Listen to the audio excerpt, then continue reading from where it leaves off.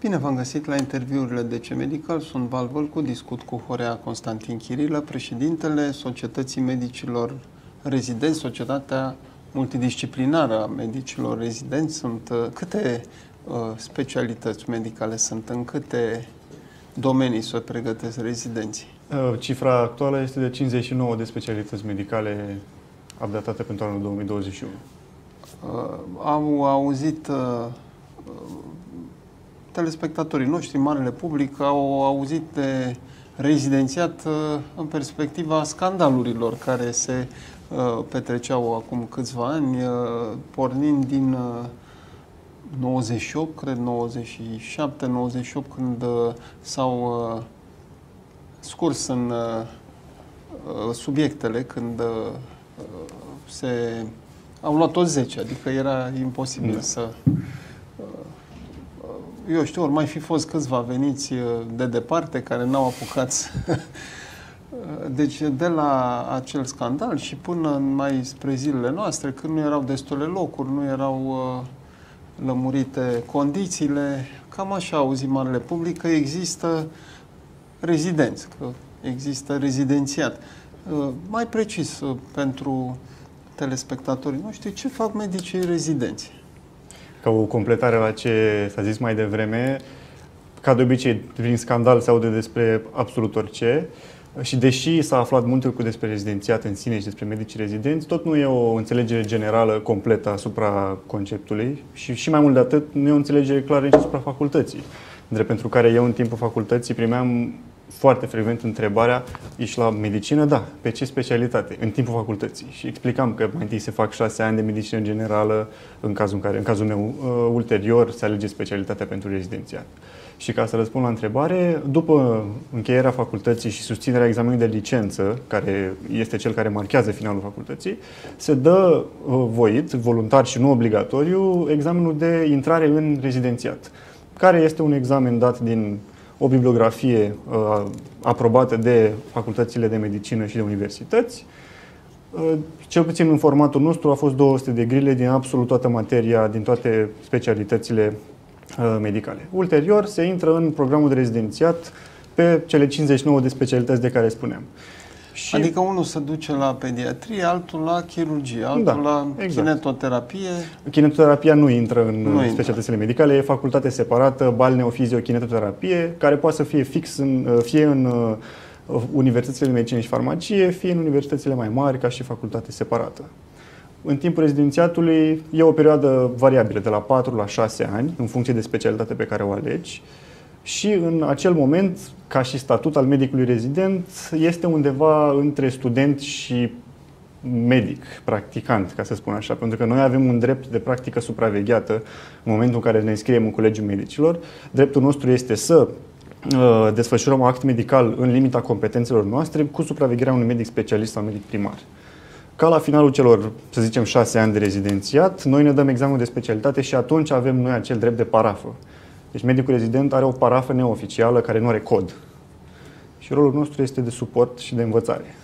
Deci uh, sunt uh, necesar minimum 6, uh, minimum 10. Da, deci minimum 10 ani sau, sau maxim 12 ani. 12 ani pentru a deveni medic. Pentru a avea parafă. Pentru, pentru a avea parafă, a ajunge da. la acea ștampilă. Exact. Dar nu spuneam noi că ne luptăm să desfințăm ștampilele să desfințăm ștampilele în sine ca și un concept de valoare pe care o are, într-adevăr, da. Ce este important din ștampila respectivă este codul. Acela, prin acel cod este identificat medicul și orice act medical pe care îl desfășoară e consemnat în foaia care e document medico-legal și așa se identifică cine este culpabil, să zicem, într-o eventualitate. Deja vă gândiți la culpabil. Deja gândim în termen de vinovății, da. de uh, să fie pedepsit. Nu e pedepsit suficient. Nu, din păcate, nu așa, din păcate se orientează... Din păcate ca o continuare și a începutului cu scandalurile, da? Cam așa funcționează lucrurile. Parafa aceea ar trebui să fie văzută într-un mod pozitiv, în care, ok, medicul acesta este legat de pacientul acesta, dar, din păcate, acea parafă este căutată în momentul în care se caută un vinovat. Și, uh, bun, înțeleg că până nu vine codul, uh, rezidentul nu are o răspundere. Rezidentul, Sau da, aici este, Este cu, cu, ca la pilotul care zboară asistat, uh, nu? Instructorul de zbor are A- Aici e o situație puțin mai, mai vagă, în ideea în care medicul care este de cel mai înalt grad, care parafează un document, să spunem, va fi automat peste medicul rezident care parafează și el cu acea parafă nesemnificativă. Deci orice greșeală pe care ar face un medicul rezident, culpabil ar fi medicul specialist sau primar. Însă, în situația în care medicul rezident, făcând ceva, își depășește competențele din lege, în momentul acela el ar putea personal să fie culpabil în condițiile în care medicul specialist, între ghimele, își ia mâna de pe el, ca să spun așa. Uh, Deci aici e destul de, destul de vag. Există cazuri de medici Da? rezidenți care au fost uh, duși în instanță cu depășirea competențelor și au fost în procese și în continuare sunt în procese. Sunt câteva, sunt excepții sau Sunt câteva cazuri, cel numeroase? puțin din ce am auzit eu, nu sunt foarte multe cazuri. Cât contează uh, memoria? Nu ai un examen de, de bacul, nu mai punem, un examen de intrare la medicină, unul de ieșire, un examen de rezidențiat și câteva pe parcurs, examenul de uh, finalizare a studiilor de Da. rezidențiat. Uh, uh, în uh, această epocă în care orice găsești pe Google uh, uh, se spune contează creativitatea, nu mai contează memorarea, uite, r- rămâne uh, grila de la medicină să testeze în primul rând memoria. Din păcate, da, și ăsta e unul din lucrurile pe care le-am tot spus de-a lungul anilor cu privire la examenele din facultate și mai ales examenul de rezidențiat, de finalizare a studiilor. Testează foarte mult capacitatea de memorare și nu neapărat capacitatea de gândire a unui caz medical și chiar și acea creativitate care este importantă. Bineînțeles, nu creativitatea importantă în tratamentul pacientului, dar mentalitatea pe care ți-o dă în momentul în care tu gândești în afara cutiei, ca să spun așa. Și din păcate, formatul acesta de examen grilă nu, nu promovează deloc uh, gândirea, ci doar reproducerea informației. Un contraexemplu ar fi uh, intrarea rezidențiată în Germania, de exemplu. Acolo nu există un examen grilă tip pe care îl dai și conform ierarhiei și notei pe care o iei, tu intri la rezidențiat. Nu. Acolo se dă examen de ieșit din facultate și ulterior, pe bază de interviuri și examene practice, tu, ca și medic rezident, vei intra sau nu într-un spital. Fiind mult mai bine pregătit, practic, să tratezi pacienții chiar și ca medic rezident. De-a lungul facultății, mai mult, într-adevăr, memoria mea a fost testată personal decât uh, Cam capacitatea câte de a... pagini uh, învață un uh, student? A calculat cineva, un uh, Per total? medic? Da. Un număr nu pot să vă spun. Cât învață este oricum o întrebare cu un răspuns Mă, câte variabil. ore Cât- cât- ține cât ar de trebui fiecare, să nu, învețe? câte Pot să vă spun Pagini uh, să- câte pagini ar se trebui să adună. învățăm pentru examenul de rezidențiat strict, doar pentru. Au fost uh, 850 de pagini a 4 câte două coloane de tocit. Pentru că trebuia reprodusă informația la punct și virgulă în momentul examenului. Și mă refer punct și virgulă, adică procentaje, care nu sunt neapărat relevante în situație, dar trebuiau să fie știute. Și asta- Și ar, ar fi o formulă de memorare, nu știu, trucuri, șase sfaturi pentru a învăța la examenul de rezidențiat. Rețeta Pentru a perfectă. reuși că de învățat. Rețeta perfectă nu există. Din experiența mea, uh, cel mai important este chiar să te apuci cât mai devreme.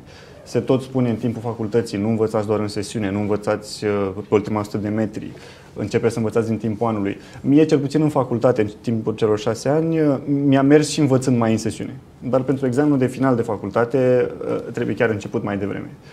Metode de învățare Știți că sunt mai multe tipuri de învățare. Învățarea prin ascultare, învățarea prin citire, învățarea prin repetare. Da, mai sunt trucuri, nu știu, unul uh, citești de două ore, altul scrie uh, ca să memoreze că atunci când scrii reții mai Cel mai uh, important bine. este ca studentul respectiv să-și găsească modul care e cel mai compatibil cu modul lui de a fi. De exemplu, la mine nu a funcționat niciodată să citesc o materie de 10 ori și să sper că am reținut. La mine a funcționat mereu să citesc o dată materia, să-mi fac o schemă și să încerc să înțeleg parcursul materiei respective și după aceea să explic altcuiva. Învățarea prin predare s-a dovedit a fi foarte eficientă în, majoritate, în cazul majorității oamenilor. Asta e o tehnică care se numește tehnica Feynman, de la profesorul Richard Feynman, care preda fizică la Universitatea din America și a dezvoltat această metodă de învățare care e foarte eficientă. Păi și cine stă să asculte o lecție de Nici nu contează. neurologie? Nici nu are importanță. E important pentru mine, ca și cel care predă persoane încercând să învăț, este să am cui să-i vorbesc. Păi tocmai. Și cum, păi, cum găsești pe În, în momentul în care cineva? n-ai cui să-i vorbești, vorbești obiectelor sau în cazul meu vorbești pisicii. Important este să transmiți informația către uh, cineva sau undeva să-ți direcționezi atenția, astfel încât tu să-ți imaginezi că predai și că ar trebui să structurezi informația astfel încât persoana respectivă să înțeleagă. Dacă persoana respectivă a înțeles, și ăsta e feedback pe care poți să-l primești doar dacă îi predai cuiva, înseamnă că și tu ai înțeles. Da, trucuri de genul uh, învăț mai bine noaptea, două cafele reci, uh, uh, picioarele în apă rece, oțet pe frunte, nu știu, La fel, da. de- felii de castravete, tot felul de Depinde de sfaturi. persoană. Am avut foarte mulți colegi care învățau pe principiu mai citesc un paragraf și mănânc un jeleu pe care mi-l pun la capătul paragrafului. Și așa mâncau ei punga de jeleuri citind 20 de pagini și într-o lună erau cu 5 kg mai... Da, mai era un pe fel jos. de recompensă. Da, ca exact. La Dădea un fel de motivație.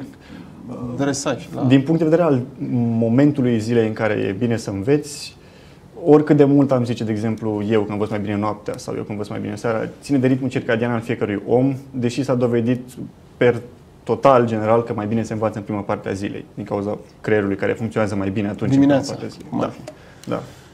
Și uh, acel sfat să nu stai în ultima noapte, să nu citești până în ultima clipă. Sunt parțial de acord cu acel sfat, pentru că de foarte multe ori acea ultimă noapte m-a salvat în facultate. Din nou, nu vorbesc despre examenul de rezidențiat, pentru că este un examen mult mai amplu la care nu ajută să îngrași porcul în ajun în ultima noapte. Dar pentru N-ai cum să examenele, nimerești. uh, Zice, domnule, chiar asta am citit ieri.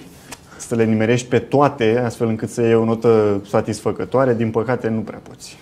N-a funcționat. M-a salvat într-adevăr în timpul facultății să trag foarte tare în ultima zi, ultimele zile și să reușesc să rețin informații care au rămas, sincer, unele dintre ele și acum, chiar dacă a fost memoria de scurtă durată. Da, uh, celebrele povești cu bilețele, domne, m-a, m-a lăsat să mai trag un bilețel și am nimerit, uh, mi-a dat să aleg, uh, se mai uh, practică sistemul să-ți tragi un bilet din uh, bolul de sticlă și Să- cu mai noroc, cu, cu mai noroc. întâmplări de Am genul ăsta. întâmpinat asta la puține examene din facultate cu trasul biletului. În momentul în care ai tras biletul, îți pica subiectul respectiv, aia era. Eu, cel puțin în seriile în care am fost eu și cu profesorii cu care am fost eu, nu ne lăsa să mai tragem încă o dată bilet. Nu, dar erau tot felul de povești. Nu? L-am impresionat, uh, mi-a mai pus o întrebare. Nu, nu, fiecare avea, fiecare student la medicină avea o astfel de amintire cu Ranga, celebrul Da. profesor de anatomie, cu...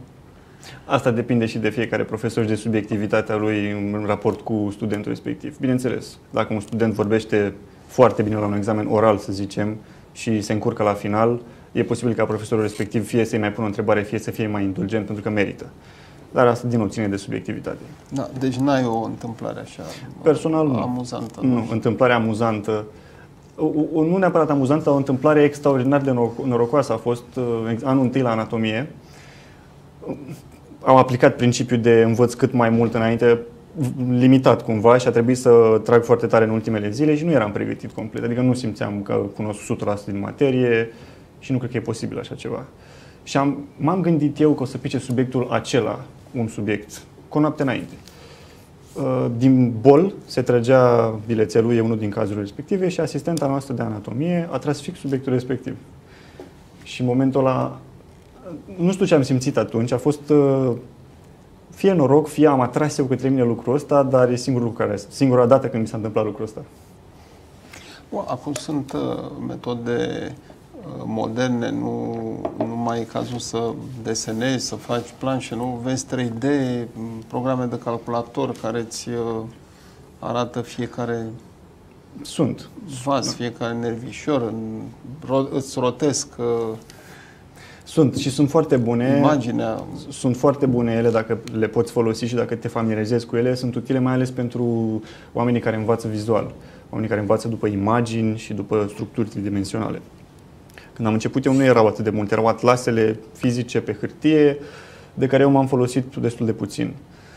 dar uh, eu sunt de părere că cu cât facem mai multe astfel de structuri și de programe ca să ne ajute să învățăm, cu atât educația medicală la noi, nu doar în facultate, în general, o să fie mult mai bine uh, susținută, o să fie mult îmbunătățită. Da, față de disecție, la sala de anatomie pe cadavru, de la de la sala de Rembrandt da, până da, în da, zilele noastre uh, uh, bate acest program de calculator? Din punct de vedere teoretic și a lucrurilor pe care le vezi încercând să înveți, nu. Uh, programul bate acel cadavru pe care îl disești, pentru că este mult mai implantat în realitate. Te ajută mult mai mult în momentul în care te duci și vezi un cadavru în condițiile în care, și acum asta e cumva un disclaimer, Uh, unele dintre ele sunt mai vechi și nu se mai înțeleg foarte bine toate lucrurile din ele. Mai, mai bune un program în situația aia. Dar, pe total, ca și realitate, e mai bine să te uiți într-un cadavru decât în programul respectiv. Pentru că e mult mai curățat programul respectiv și le vezi doar teoretic structurile. E posibil că atunci când te uiți pe aceeași structură la un om viu, să nu le recunoști la fel de ușor ca atunci când te uitai pe cadavru. De, deci, între aceste două, ce alege între aceste două dacă aș alege să fac o specialitate chirurgicală, aș face mai întâi program și după aia m-aș duce pe cadavru. Dacă ar fi să aleg o specialitate medicală, aș putea să mă limitez inclu- inclusiv la, la, doar la program. Pentru că e o chestie teoretică. În momentul în care eu încerc să învăț structura anatomică a creierului, ca să-mi dau seama cum ar acționa și ce zone ar fi vascularizate și de unde ar porni un atac vascular cerebral, de exemplu, dar fără ca eu, ca neurolog, să intervin, nu trebuie să văd cadavru în momentul respectiv. Pot să văd programul și să-mi imaginez. Dar dacă sunt neurochirurg, e important să văd și pe, pe viu. Da, sunt scumpe aceste, să piratează, cum să obțin aceste să, programe? Aceste eu, curs? cele pe care le-am întâmpinat, nu erau scumpe, uh, am, am folosit inclusiv gratis, adică cel puțin în anul 2, mai ales când făceam anatomia și încercam să învăț, le aveam disponibile gratuit. Atunci, și acum Pe pacient apărut. mai pune cineva mână. Am înțeles că în Occident simulatoare, discuții, Suntem iată, alte programe pe calculator. Suntem printre puținele țări care mai folosesc în continuare cadavre pentru, pentru studiu, ceea ce mi se pare personal un lucru bun, asta și spuneam mai devreme, partea aceea de implantare în realitate. Dar, într-adevăr, țările din străinătate folosesc uh, simulatoare care sunt bune, nu da, pe pacient, pe, pe o persoană din spital mai pune studentul. mâna studentul. În ultimul an și jumătate mai puțin din, din contextul da, evident. pandemic, da. Dar înainte, da. Eu am prins doar uh, o jumătate de an de școală online și până atunci uh, totul s-a făcut fizic. Adică când eram în anul 6, până la jumătate până după semestrul 1 am fost în, în spitale. Și acolo, da. Nu și prea dau acordul pacienții din uh, Occident. Din Occident. Situația nu cunosc foarte bine nici eu în Occident, uh, în spitalele universitare, ca să spun așa, dar uh, cel puțin la noi există o complianță destul de mare. Majoritatea pacienților care intră în spital universitar semnează acel acord de studiu, că vor fi uh, întrebați de către studenți de aceleași de multe ori aceleași lucruri. Ceea ce mi se pare foarte util, pentru că eu am învățat să comunic cu pacienții și la stagiu în facultate și în practica de vară. Mi se pare important să ai contactul acesta medical, pentru că fără el ne rezumăm la o școală teoretică și atât. Fără a învăța comunicarea cu pacientul, mai ales că nu există în cadrul facultăților, niciuneia din țară, dacă nu mă înșel, un curs de sine stătător de comunicare medic-pacient. Lucrurile acestea le înveți din mers oarecum, stând și învățând La Brașov nu există. La Universitatea Transilvania, uh, de, uh, să spunem, pentru tot așa, pentru marele public. În curicula facultății sau ziceți de cursuri independente, individuale? Nu, la ore, să dăm notă, mm-hmm. rămâne corigent sau rămâne restanțier, rămâne, vine în toamnă, sigur. În cadrul facultății de da, medicină da, da, de acolo. De la Transilvania. Uh-huh. Spuneam pentru... Care a fost primul pacient? Poți să-i spui, poți, poți să definești, nu, ăsta a fost primul meu pacient. Uh, unuia care i-ai făcut o manevră. Să, o fac și studenții ca, și ca în și practică, da, sigur că da, sigur că da. și în primul an. Uh, uh, nu mi-amintesc pacientul per se, în sine, mi-amintesc însă cadru. Eram în anul 3 când se intră în spital, prima oară când anul 3 de facultate, la semiologie, uh, la Spitalul Sfântul Ioan eram, că acolo am făcut uh, stagiul de semiologie. Și eram într-un salon de cardiologie, medicină internă, cum că ne trebuia să învățăm medicină internă la, sem- la semiologie. Și era o doamnă în vârstă și țin minte manevra pe care i-am făcut. Era o manevră pe care i-am făcut-o, sună foarte uh, ciudat. O manevră pe care am încercat-o ca să vedem dacă pacientul are uh, simptomatologia respectivă. Manevra la SEG se numește, în momentul în care unui pacient îi ridici piciorul întins, membrul inferior întins și dacă cumva acel pacient acuză durere pe partea posterioară a piciorului, înseamnă că are iritație meningeală sau că are o problemă cu nervul sciatic. Asta e o chestie de neurologie și e prima manevră pe care am făcut-o pe un pacient vreodată, ca și studiu. A avut? Nu. Era nu. sănătos.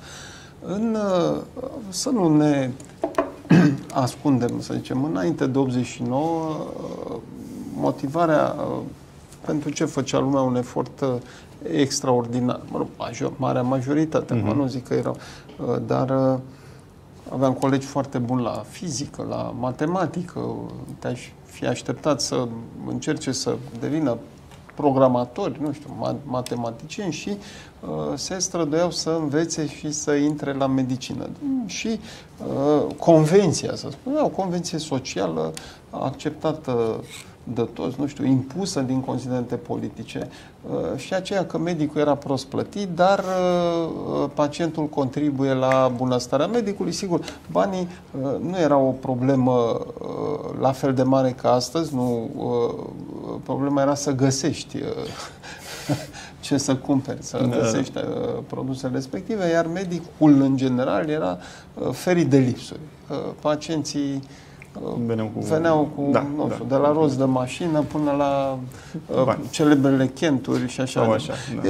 Deci uh, știe că vei avea o viață grea, pentru că, mă rog, mult de învățat, mult de lucrat, dar lipsită de griji în, uh, în domeniul ăsta. Era această uh, convenție, multă vreme s-a, uh, au fost uh, acuzați medicii, ăia care umblă după plicul da, da, da. pentru Lucru pacienți. care a și rămas uh, ca și percepție și în prezent. Adică lucrul acesta a rămas ca percepție asupra medicilor și în prezent.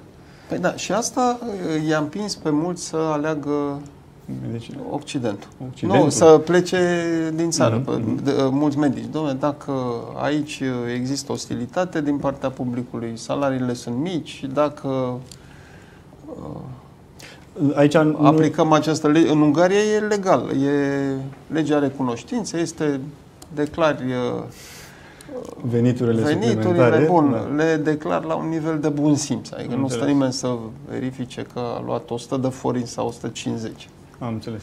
Uh, așa au rezolvat ei. În sensul ăsta, statul plătește mai puțin pentru salarii și pacientul contribuie mm-hmm. din buzunar să spunem. Aici... La noi a fost uh, o campanie întreagă, medicii, uh, cum spuneam, unii au fost uh, determinați să plece în uh, străinătate, mm-hmm. alții uh, au avut probleme cu legea. Cum, uh, care e situația astăzi? Cum vede un uh, tânăr uh, Toată partea aceasta. Toată Am înțeles. zona asta. Sunt, uh, sunt mai multe aspecte aici, că s-a, uh, s-au extins puțin cel puțin partea aceasta cu contribuția extra a pacientului, din ce am observat eu de când am intrat în rezidențiat, pe lângă generația tânără, adică noi, care suntem majoritar împotriva acestui lucru, am observat că inclusiv medicii mai cu experiență, pe specialiști primari, la fel, uh, refuză și nu practică lucrurile acestea. Lucru care mă bucură foarte tare.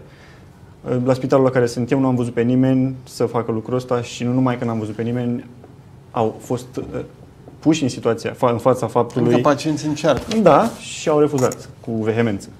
Ceea ce mi se pare foarte, un lucru foarte bun și eu tot încerc să le spun pacienților că această mentalitate nu mai există și încercăm să eliminăm lucrul acesta. Cât despre plecatul din țară pe baza acestor evenimente, mi se pare că e o parte din motiv, ostilitatea pe care o au o are publicul general, să zicem, asupra personalului medical, dar nu e singurul motiv pentru care foarte mulți colegi pleacă în momentul ăsta afară.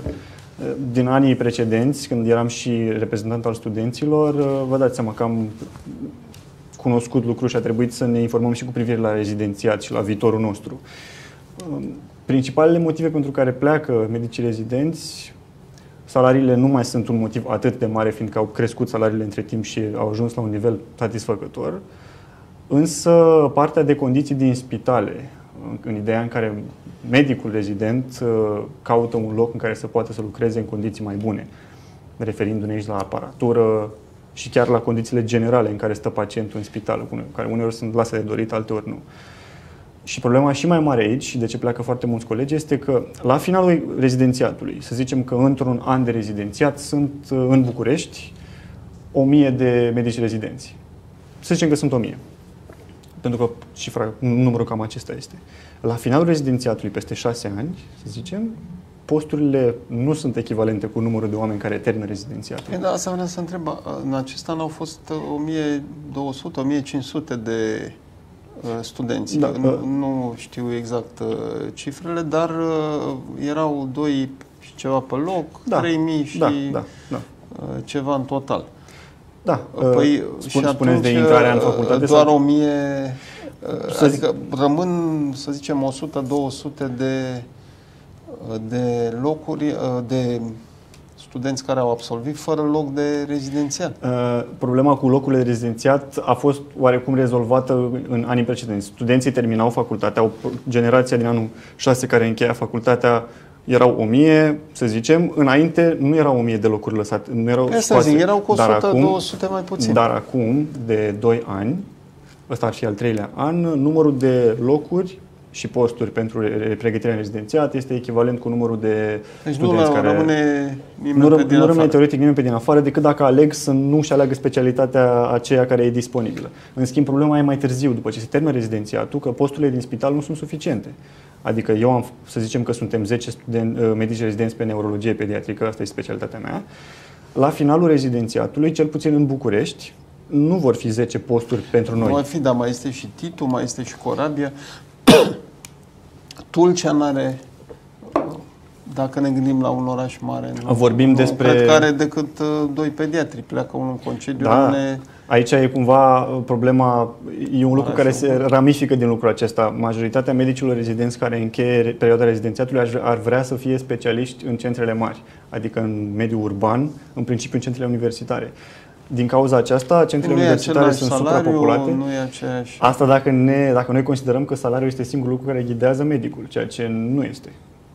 Uh, e vorba și de o componentă socială și de o componentă a oportunităților pe care le ai într-o, într-un oraș mare față de un mediu rural.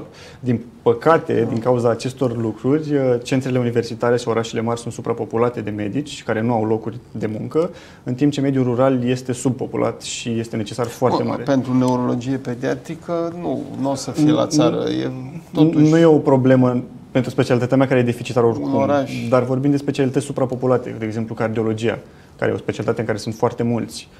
Sunt suprapopulate orașele mari, mai ales centre universitare, în timp ce uh, satele sau comunele sau locurile da, sunt îmbunătățirea drumurilor n-ar fi o, o soluție, pentru că ești, să zicem, la Alexandria, te-ai urcat pe șoseaua aia care se tot construiește da. și într-o oră ar fi ai ajuns una din în București. Păi eu fac mai mult de aici până acasă, da. în uh, capitală. Sunt mulți factori care descurajează medicii să plece în mediul rural. Mi se pare unul dintre cele mai importante, într-adevăr, partea aceasta socială și de oportunități. Uh, ar fi extraordinar și utopic în momentul ăsta, din punctul meu de vedere, să se umple toate locurile din mediul rural și să avem o acoperire generală pe sănătate. Și să nu se mai înghesuie toată lumea doar în centrele universitare. Dar momentan drumurile sunt una din uh, problemele care ar putea să fie rezolvate, să spunem, pe tema aceasta această ostilitate sau ostilitatea la care mă refeream nu se, uh, direct, nu se rezumă la problema veniturilor, mm-hmm. la, uh, ci și la uh, procesele de malpraxis. Am înțeles că sunt avocați acum prin jurul, stau, păzesc ușa marilor spitale sau unor centre private și întreabă pacienții, ești nemulțumit? Hai să, să-i tragem un proces, să Căutători de scandal vor să fie mereu, vor fi mereu și presa care stă mereu la, la ieșirea din spital și încearcă să prindă un moment în care să zicem că un medic ar ieși în costum de spital afară să meargă la magazin să cumpere ceva. Lucru care, într-adevăr, nu este în regulă, pentru că echipamentul de spital se folosește în spital. Și pândește cineva, n-am. Uh, acum, adică, sau nu e nevoie să fie presa, pentru că orice om are un uh, telefon, telefon și poate mobil. să filmeze. Da, sigur o să iasă mereu scandalul de genul acesta, strict și pentru că oamenii caută scandal, strict și pentru că suntem predispuși la lucrul ăsta. Uh, personal, pentru mine și pentru oamenii pe care eu îi cunosc și sunt apropiați, nu a fost niciodată un factor descurajant această posibilitate de malpraxis ulterior. Există, cu siguranță, lucrul ăsta, dar e un risc pe care ți-l asumi în momentul în care ți alegi drumul acesta. nu e doar o meserie, e o vocație. Da, din ce se spune în, în străinătate, asigurările acoperă riscul, medicii sunt liniștiți. Aveam un coleg la, uh-huh. la New York, cred, uh, care avea 140 ceva de procese. Zice, domnule, de 138 sunt uh, liniștiți, sunt uh, hărțuieli, sunt așa, două am probleme.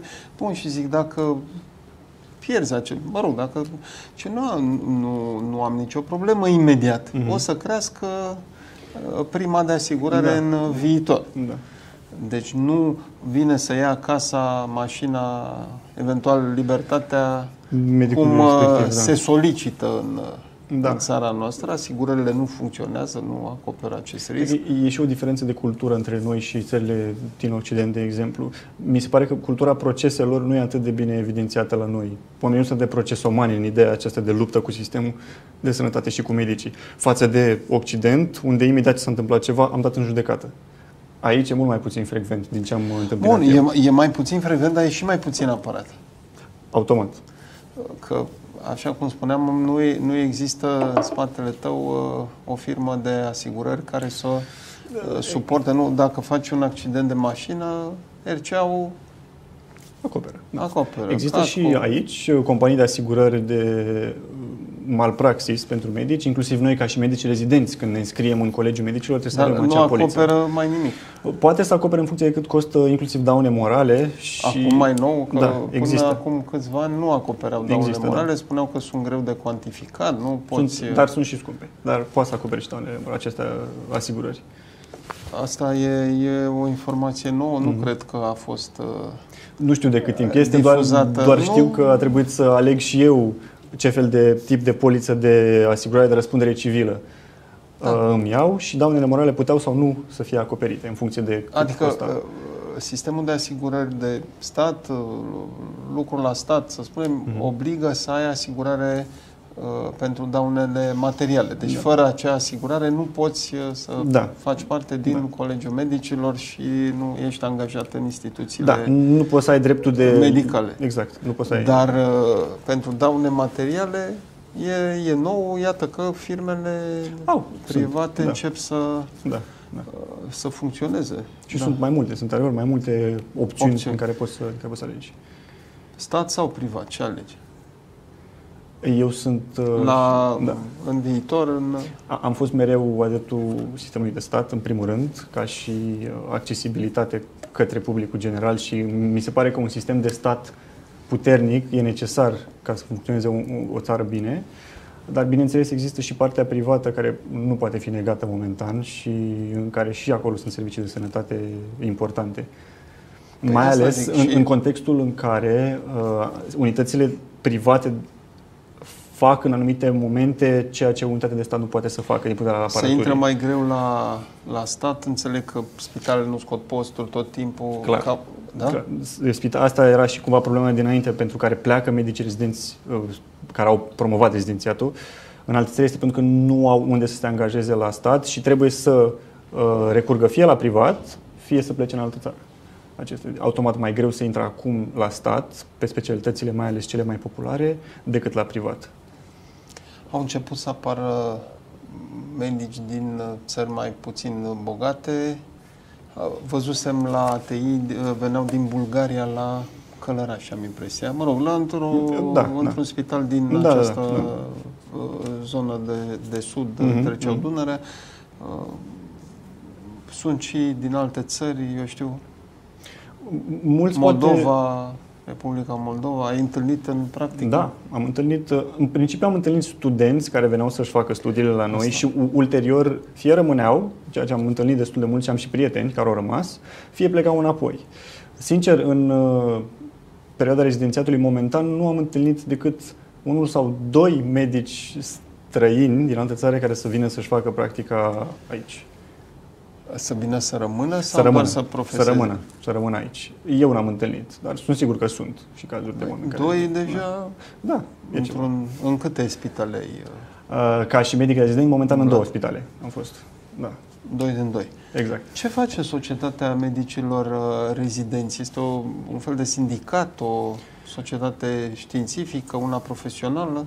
Uh, societatea a pornit în 2015 cu scop științific inițial, acela de a reuni uh, din punct de vedere educațional medicii rezidenți, cu organizarea de evenimente, workshop-uri și uh, lucruri care aveau ca scop educarea medicului rezident. În schimb, între timp, uh, neexistând o structură reprezentativă pentru medici rezidenți la forurile superioare, a început să-și asume încet încet rolul de structură reprezentativă. Și în prezent, deși legal, oficial, nu este o structură reprezentativă sindicală, încearcă să mențină comunicarea cu uh, instituțiile publice superioare, Ministerul Sănătății, Direcțiile de Sănătate Publică și tot uh, Colegiul Medicilor, în ideea în care există o problemă din partea unui medic rezident, se adresează nouă și noi încercăm să facilităm comunicarea.